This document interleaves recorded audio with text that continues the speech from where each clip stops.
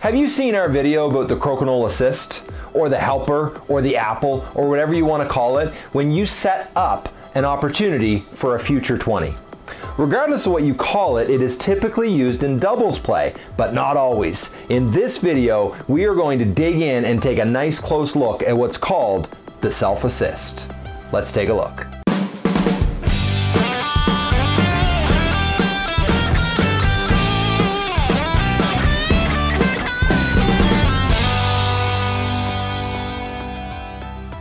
Jeremy Tracey here of Tracey Boards. Please give us a like, a comment, a share, a subscribe. It all helps to spread the word of the greatest game on earth. Shameless self promotion of the channel? Check. The self assist is much like the regular assist, except it's a lot like it's on steroids.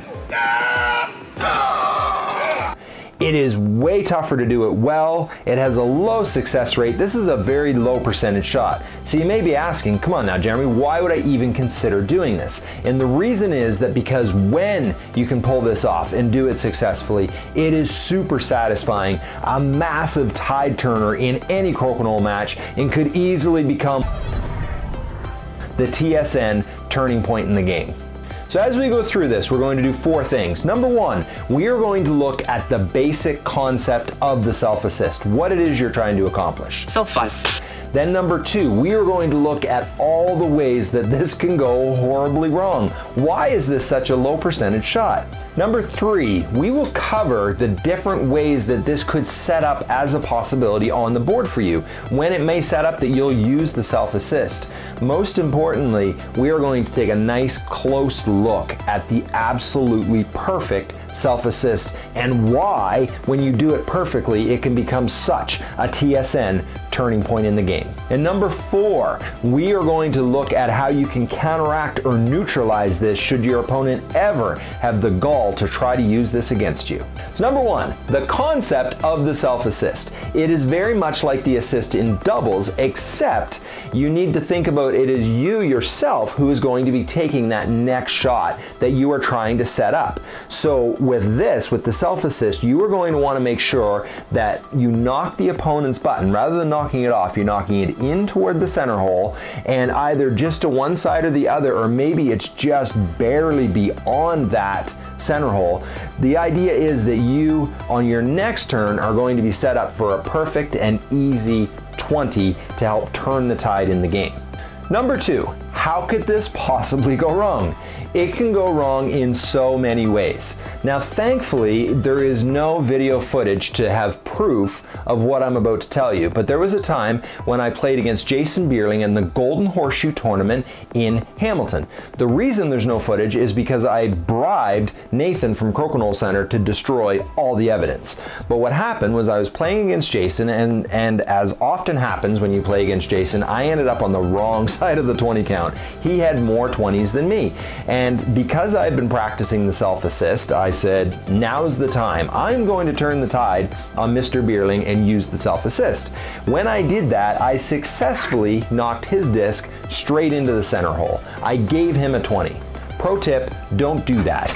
At which point, Jason, being such a kind, gracious competitor, said, Thank you, Jeremy. And I said, You're welcome, Jason. And the round continued. But of course, he was able to easily knock my disc off, and being the way that I am, I decided to double down and I'm gonna try it again. If at first you don't succeed, make another mistake. This time, I again was unsuccessful in my self assist. I didn't put it in, but I did set him up perfectly to go through his own disc, hitting mine, and his shooter went in and put me even deeper in the 20 count. At which point, Jason said again, Thank you, Jeremy. And I said, You're welcome, Jason. And the round continued.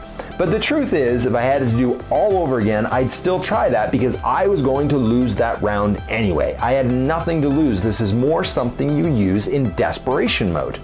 Now, fast forward a few months, you'd think I'd have learned my lesson. I did the exact same thing against Brian Cook in Budapest. You can watch this footage because apparently Nathan put his bribery prices up. I could no longer afford to have the evidence destroyed. Same thing, I went for the self assist. Tracey possibly going for a hide here. Oh, a bit of an assist play there. And Brian was able to feed it to me by going through his own disc, dropping a 20, and obliterating me. It's a pretty nice hide, but I think Cook will have an opportunity to go through his own to try to make the takeout. Be interesting to see if he tries to peel off the disc that he sends into the red. Oh, nicely done with the 20 there. Those are just a couple of examples of how this technique can go wrong, but we're also going to look at the flip side of that, uh, how it can go incredibly right. Number three, we're looking at the different setups that happen on the board when you can possibly consider using the self-assist. For example, if there is a button uh, of your opponent's that's sitting somewhere on your side of the board, and basically anytime it's sitting on your side of the board and you have the option to bump it in, but these op- some of these options are less than ideal. If, for example, you do it from the side, even if you are successful and you set yourself up perfectly, but you've left your disc wide out in the open, what's going to happen is your opponent will very easily and skillfully take that out. So there's two of their buttons on the board.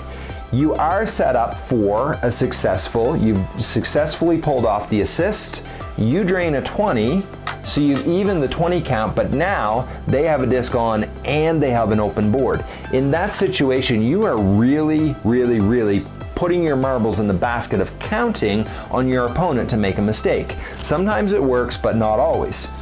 The other thing is that if you do it straight in front of yourself, the likelihood of them being able to go through their, their, their, own disc and still hit yours is quite high. So those options, although they're there, they're not necessarily going to work all that well against a super skilled player. Now, what you've all been waiting for, the absolutely perfect self-assist situation. In my experience, even though I've shared how this has failed miserably for me in competitive play, it has worked out occasionally. It works best when your opponent's button is between the two pegs right in front of you, somewhere on that 15 line. What you want to do is successfully bump theirs up, again, like as with all these examples, setting yourself up for an assist. But in order for it to be perfect, what you want to do is have your shooter end up tucked away hidden behind a peg. So you've done, you've accomplished two things with one shot. One, you've set yourself up, and two, you've hidden and left your opponent with an extremely tough shot. Now, why this can become such a tide turner is because if you look at this situation, your opponent is going to have a really hard time even making a valid shot by contacting your disc because the peg is in the way if they look at it this way, their own disc is in the way if they look at it in their other path. So, a couple things can happen. One, they just straight up miss. Therefore, you end up set up perfectly for an assist 20 and you've still got a button hidden on your side of the board. What makes this even more of a tide turner is when your opponent attempts to go through their own, but they don't make contact with yours, so they lose their shooter and their button that they have in the middle, leaving you with an open board. Then if you can hit that open 20, massive shift of tide because then you've still got a button hidden on your side of the board. So in some of the other examples that we looked at were things where it leaves your shooter out in the open and I said in that situation you are counting on your opponent to make a mistake. When you are able to successfully pull off that perfect self-assist, you're not hoping they make a mistake, you are almost forcing them into a situation where they're extremely likely to make a mistake. That is what makes this the perfect self assist. Number four, what we're going to dig into now is how you can counteract someone using the self assist against you. How can you neutralize that? How can you make sure that they're not able to force you into making a mistake. So let's say you're sitting there playing and your opponent successfully does this. The first thing I'd encourage you to do is look at all your options. Is there a way for you to play through your own and successfully make a valid shot? even if you don't drop a 20, you're going to end up with two buttons on and you've dug them into a little bit deeper hole. But ideally, if you're able to go through your own, make a legal shot, and drop a 20, like Brian Cook did to me, it digs them into an even deeper hole. But let's say they truly have successfully reached the pinnacle of self assist accomplishment and they leave you completely jammed up. You look at all your options and you are like, there is a 99% chance I am gonna biff this shot, and you don't feel good about that. You absolutely do have the option to do what we call trough your shot. That's when you simply take your disc and drop it in the gutter, or you set it and just shoot it off to the side. Just keep in mind that if you use this and you do go ahead and trough your shot, I will lose all respect for you. Your friends and family will probably disown you, and your self worth could take such a hit. It takes years to recover. But hey, you'll win two points in a round of crokinole, so it's up to you. Clearly, I'm joking. Truthfully, in a tight situation, in an important match, this can absolutely be your number one go to strategy, your safest bet in order to try to win that round.